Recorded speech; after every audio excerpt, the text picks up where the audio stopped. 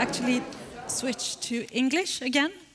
Uh, and I welcome Kajsa Hartig, who is head of collections and cultural environments at Västernorrlands Museum in Sweden, and Elisabeth Boogh, uh, who is curator of photography collections at the Stockholm County Museum. And you're going to talk about collecting the ephemeral social digital photograph for the future. Welcome. Thank you. Uh, I'm Kajsa Hartig. I'm sharing my time between the Nordic Museum and Västernorrlands Museum, and today I'm representing the Nordic Museum. And why we have chosen to speak in English is because we have international guests, but also because our project language is English.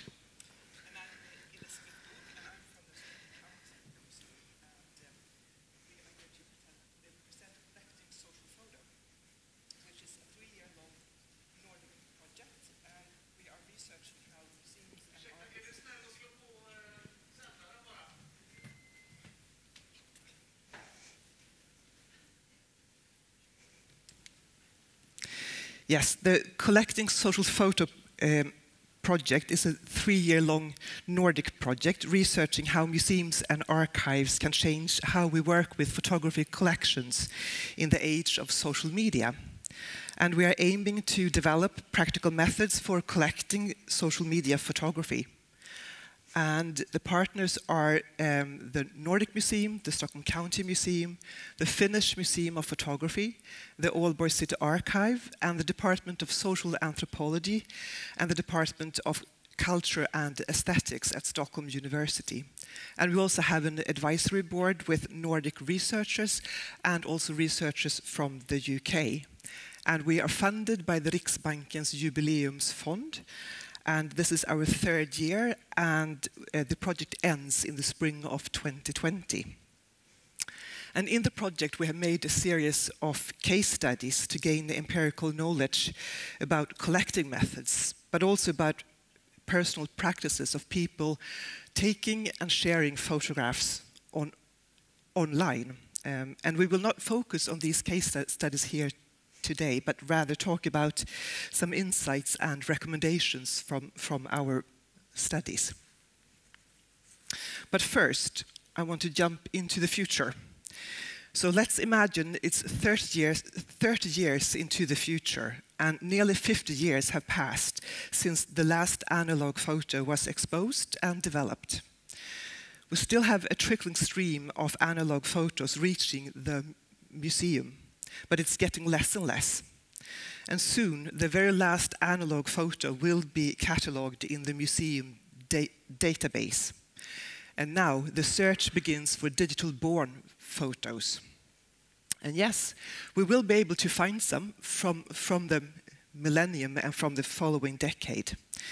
In the best case scenario, the photographer has succeeded in conversion and migration, and the photos made it into the future. But then something quite radical happened. Two major events changed photography as we know it. And the first is the launch of the iPhone in 2007, because now the mobile phone is also a camera, or rather, the camera also functions as a phone. And this co coincides with the second uh, event, the development of social media.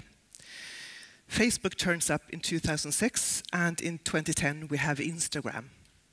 And this changes how we take pictures, when we take pictures, and what we do with them.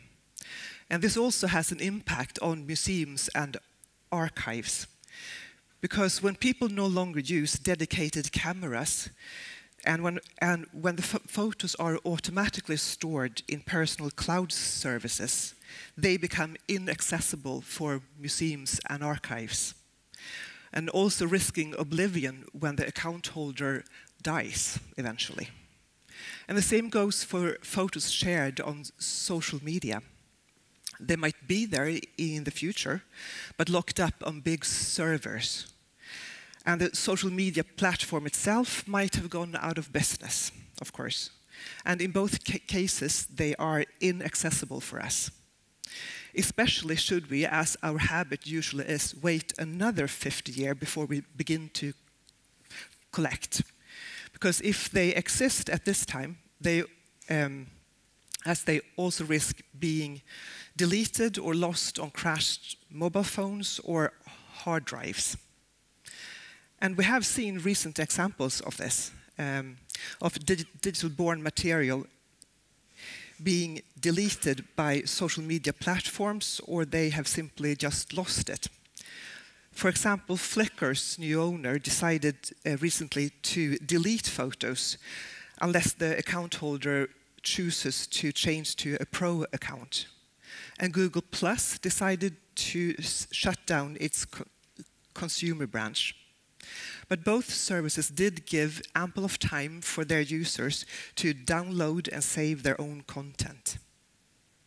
MySpace, on the other hand, they claim that they have lost all data uploaded before 2016 due to a failed migration. So all music created and shared that hasn't been backed up by the, the user is lost forever. Um, and some even say that we are entering or living in a digital dark age. For us, the bottom line is that there will be no shoeboxes of grandpa's old photos for us to collect in the future. And the same notion goes for diaries and personal letters and the social media companies themselves are under no obligations to save our memories for eternity. So therefore, we have to adapt our work methods and start to collect in real time and in collaboration with the photographers. But then you might ask, how has photography changed? Well, to some extent, it does remain the same because we still take pictures of birthdays and summer vacations. But a major difference from analog photography is the massive increase in participation and the number of images shared every day. And the readily available cameras in the form of mobile phones is shaping how we see our, our wor world and has led to people thinking visually to a higher extent than ever before. And the social digital photographs are used in telling stories, sharing values, and expressing culture online. So the networked social digital pho photograph is dependent of its context, being an assemblage of the motif, of the geodata, the text, emojis, likes, shares, and of course the so social ne network itself. So social photography today can first and foremost be regarded as a form of communication, where the visual resembles words and language. And it is ephemeral, regarding the changing practices, um, but also because they, they risk being de deleted or locked into these cloud ser services. Yep.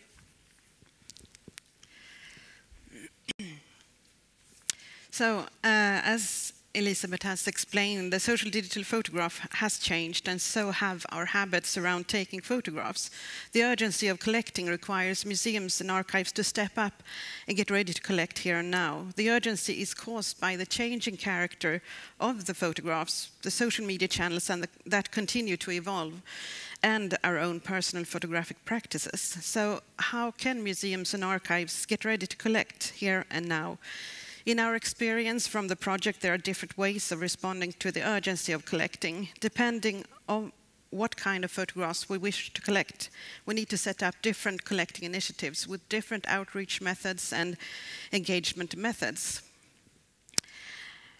And on a basic level, we wish to recommend museums and archives to prepare in the following ways, starting with monitoring. As heritage happens in social media, monitoring more or less on a daily basis is required. The solid understanding of social media, as well as being present in social media channels, is definitely a must for the staff involved. This helps us discover potential partners to collaborate with, or new trends in photographic practices, and also viral events that are expressed through photography in social media. And here you can see a few of them. Um, Open Stockholm, Me Too, Knytblus, if you are in Swedish, you recognize this. Midsummer. Uh, and other uh, expressions where we uh, use photography. the next thing we would recommend is having proper digital infrastructures in place, and this might sound, sound very obvious, of course, but without them, is, it's difficult to collect and manage social digital photography. It has to be there. At the same time, the infrastructures need to be manageable by regular staff and not depending on technical expertise for every step. Collecting interfaces need to be a natural part of collection management systems. We have so far been looking at separate, separate services for collecting, but museums are starting to look at enhancing collection management systems to open up for participation on a deeper level. now most museums and archives, we do already have digital repositories, and in our project we are starting to look at how these existing da databases can fit the metadata that we are collecting and how these images can fit into our existing collection databases. Uh, we are also looking at what kind of metadata we should add as staff. And as you all know, if you worked with photography collections, we have uh, always added metadata to digitized photography. But should we do that with the photographs that we collect? Um, and just as relevant digital infrastructures need to be in place, a user-friendly interface for contributing with photos is central. And again, this might sound very obvious, but a challenge for museums and archives that have to face the expectations of users that might be buying their tickets online, they might be looking for recipes online, or they might buying a home online, and all these uh, websites are made by companies with larger budgets than museums and maybe also larger, better experience of creating user interfaces. Uh, another advice from us today is that the museum or archive should build on solid collaboration, both internally and externally, for rapid response collection, collecting and long-term collecting initiatives. And these collect collaborations are uh, required to be able to perform successful outreach and to further build on competence, drawing from shared experiences. So both work together with other museums and archives, collaborate with communities in order to build trust and reach out, and collaborate internally, break the silos, as you have probably heard many times. successful outreach is a must. Uh, it's a prerequisite to successful collecting initiatives, and um, depending on what you wish to collect, you need to apply different strategies. And again, uh, it requires internal cross-collaboration and mandate. And here are a few examples of how we have reached out in the case of viral events. We have used uh, sponsored social media posts to collect, for example, images uh, from Knytblus or the terrorist attack in Stockholm uh, in 2017. Above all, to collect, we need to build trust. Audiences must feel safe uploading images to us. And besides trust, trust, if there is anything you need to consider, regardless of what kind of digital project you are planning, you need to answer the question of what's in it for me. Why should I upload my photos to the museum or to the archive? Responding to this question is, of course, one of our greatest challenges, and I would love to discuss this further with you. Uh, during this day. So, uh, as we have mentioned earlier, a digital tool for collecting images is necessary. It's a necessary starting point uh, for any initiative. This is why we are now developing a prototype that in a year will be available to download on GitHub and to use for free. And here you will also get a sneak peek. It hasn't been released yet, but um, we will give you some screenshots. So why are we developing this web app? We, again, we need a tool to collect, we are, in a sense, sharing the workload then with the audiences, with the contributors to do the uploading and describe the images.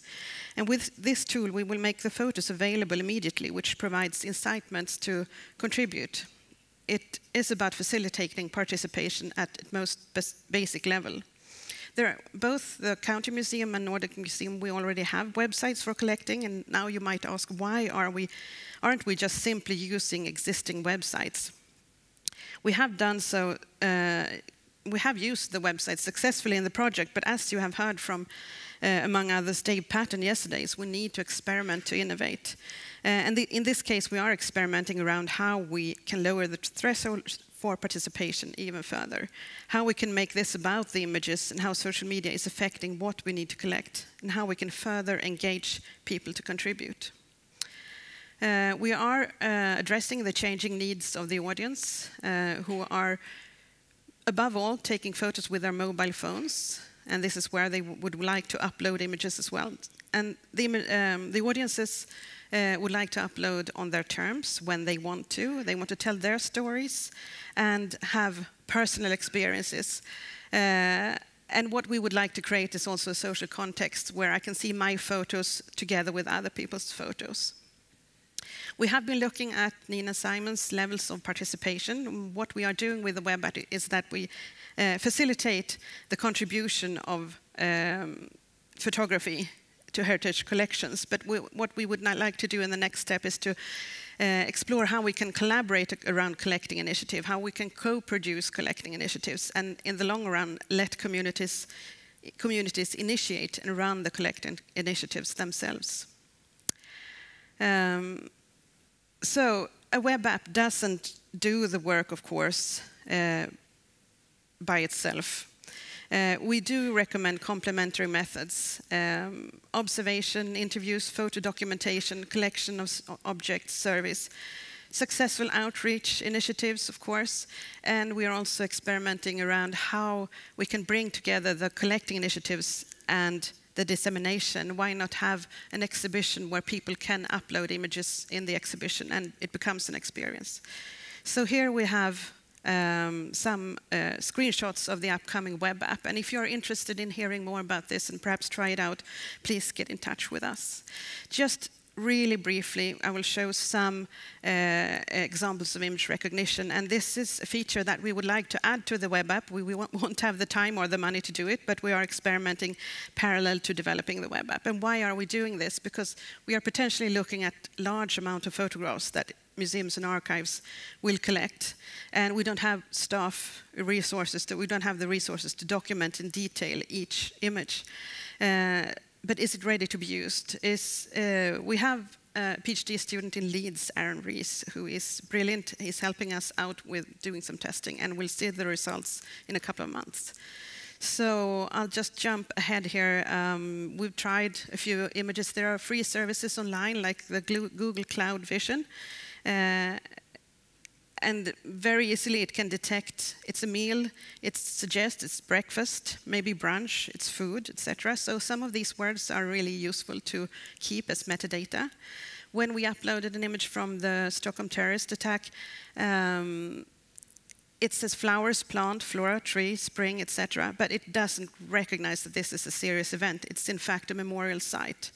But for a photo like this, uh, it recognizes toddler, play, child, room, floor, toys, uh, products, infants, etc. And there are words here that we would like to keep unless the photographer themselves have already um, described the image uh, very well. So uh, having this as an option is something we would like to experiment with, that when you upload the photo, um, retrieving, uh, running the image through an image recognition service and retrieving metadata would be very interesting for museums. But we're not really there yet. We're looking at some development in the upcoming year. So just briefly now, what's next? We will do some further testing of the web app. We have a conference in March. I think it's around the 20th of March, so we'll uh, let you know when that is. And please mark that in your calendars. And we are writing an anthology and a project report to, in detail, share our experiences from this project. And again, the web app will be released on GitHub in uh, March next year. Thank you.